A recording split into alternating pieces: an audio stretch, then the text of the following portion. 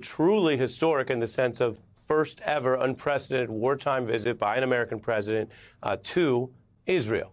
Uh, Biden was on the ground for roughly seven hours. He got off Air Force One. You can see him there, and he was uh, embracing Prime Minister Netanyahu. He held a meeting uh, with the Prime Minister and the Unity Government's war cabinet. I wanted to be here today uh, for a simple reason. I want the people of Israel, the people of the world, to know where the United States stands. The world sees that support and the moral clarity that you have demonstrated from the moment Israel was attacked.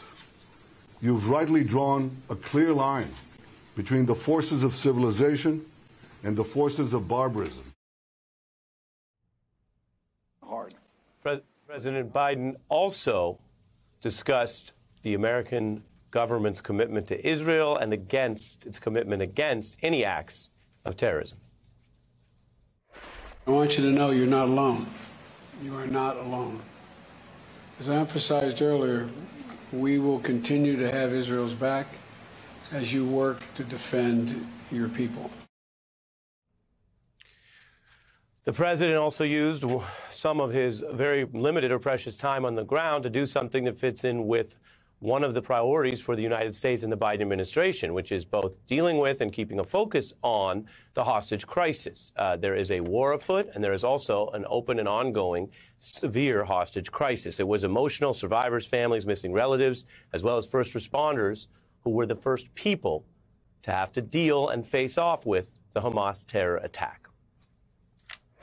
We were there in the first moments, seeing the atrocities little babies that were torn around, taken away from their parents, murdered in front of their parents. We're so proud that you, the President of the United States, came here to Israel to support this country. You uplifted the whole spirit in this country. That is just a short excerpt of some of what the president did the governmental side, the humanitarian side, dealing with the hostage side.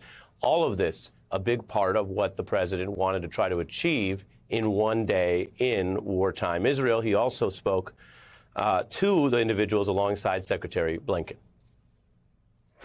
I'm convinced that more people know your responses to what's happening as opposed to just what war and peace is about. The more they're going to be kind of embrace, embrace Israel. The president then concluded the key part of the visit by making a statement there. We mentioned you tonight that we just learned there will be a Oval Office address to the nation as many gird for what could be a long haul here and a heightened threat level and an issue that affects so many people in this ongoing crisis. But the president took what many people view as this one of these presidential leadership moments, these tests, to make sure that he reiterated, clarified, and was 100% on the issue of condemning the terrorism. There's no rationalizing it, no excusing it, period. The brutality we saw would have cut deep anywhere in the world, but it cuts deeper here in Israel. We will not stand by and do nothing again.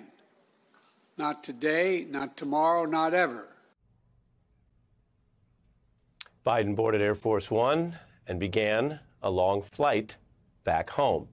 Uh, we heard from reporting on the ground. Now we turn to Aaron David Miller, uh, Miller Middle East peace negotiator, a State Department veteran. Uh, many different aspects to this, uh, as I emphasized in our reporting. Uh, big picture, what did you think of what the President of the United States conveyed in this unprecedented visit to a wartime Israel? Uh, first of all, Ari, thanks for having me. It really was an extraordinary, extraordinary moment. President was in Ukraine, of course.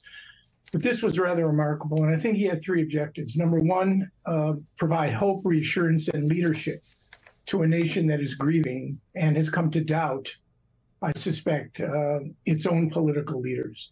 Number two, work with the Israeli government to try to figure out a way to stabilize a bridge of humanitarian assistance uh, into southern Gaza, where you have hundreds of thousands of people under resourced and underserved.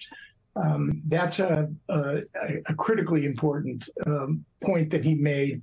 And I'm hoping in the days ahead that the Rafah crossing will open. And the third issue, which I think is the toughest, was to have a very frank conversation with the prime minister and uh, the prime minister's war cabinet about the nature of what the Israelis are going to do on the ground, their objectives, the implications, the consequences. And I think he referred uh, obliquely, not so obliquely, in his remarks to 9 11 and warned of the dangers of acting on the basis of, ra- of rage.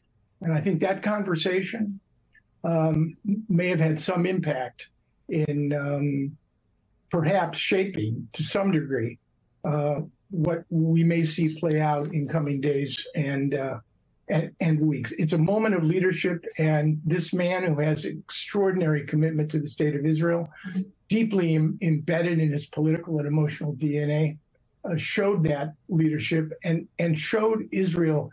He talks about the quote black hole of loss.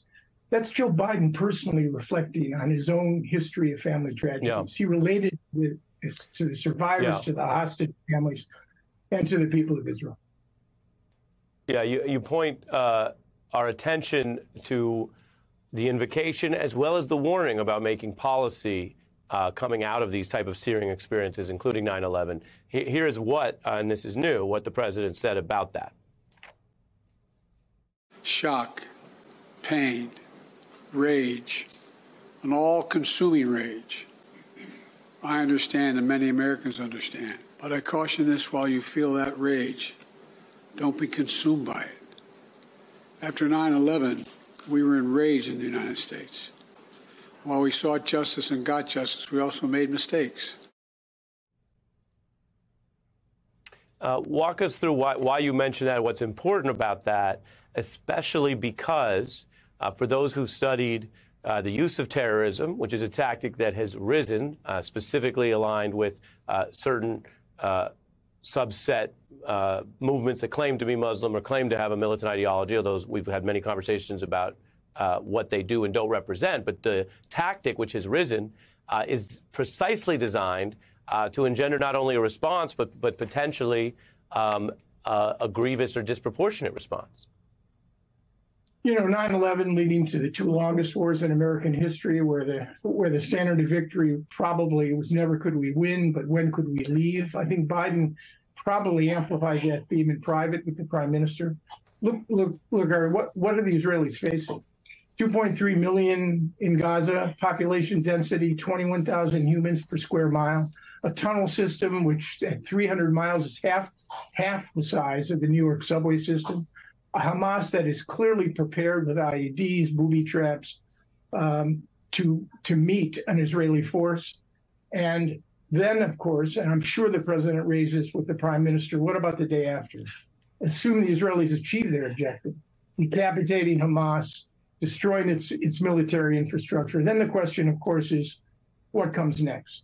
And I think that conversation is critically important. I think the president had it, and frankly, he's built up so much currency based on trust and confidence that I think he could deliver it. Whether or not the Israelis are thinking this through, rethinking it, I think they already know the risks and implications uh, of a massive ground war. And we can expect something, I think, in the days and weeks ahead but it's not entirely clear now precisely how large, what the depth and what the breadth of the Israeli operation is going to be.